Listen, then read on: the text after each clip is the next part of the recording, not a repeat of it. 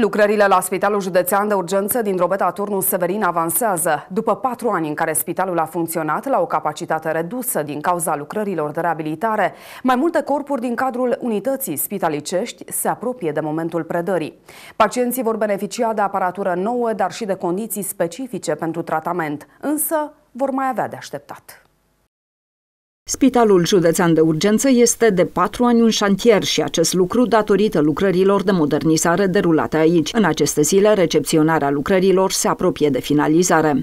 Avem un corp de clădire care este destinat pacienților în uh, sistem de spitalizare de zi.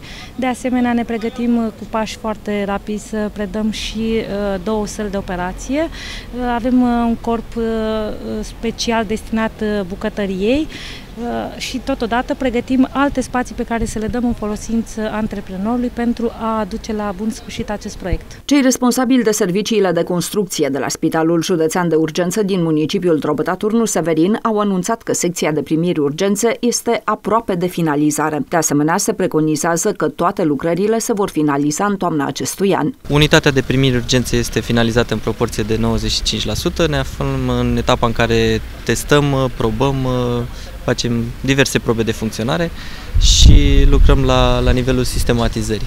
Blocul operator urmează să funcționeze la capacitate de 100% în aproximativ două săptămâni. Deși spațiile sunt amenajate, pacienții vor fi mutați în aproximativ două săptămâni. Se fac pe lângă lucrările din interior, lucrări și la exterior. În acest moment se lucrează la reamenajarea curții spitalului. În aproximativ două-trei săptămâni de zile, blocul operator să fie predat spitalului și să se poată efectua aici de către personalul, de către medici și intervențiile chirurgicale. Valoarea totală a acestui proiect este de peste 100 de milioane de lei bani europeni asigurați prin programul operațional regional. Deși clădirii în care funcționează spitalul i-au fost aduse multiple îmbunătățiri, lipsa personalului medical continuă să rămână o problemă.